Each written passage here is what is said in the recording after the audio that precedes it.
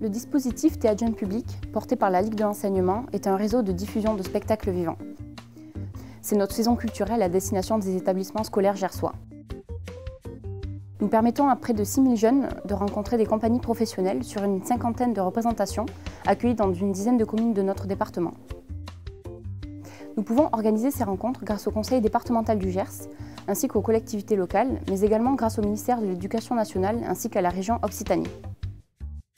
Notre objectif est que chacun et chacune, dès son plus jeune âge et tout au long de sa scolarité, puisse accéder aux œuvres de spectacles vivants, euh, sans exclusion d'ordre géographique, économique ou socioculturel.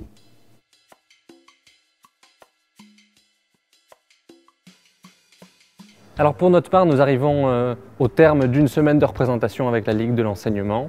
On a fait donc six représentations réparties sur trois journées différentes, en comprenant montage, euh, deux représentations par jour, plus des montages. Et à chaque séance, on a pu rencontrer euh, plus d'une centaine d'élèves, qui est un vrai plaisir pour nous.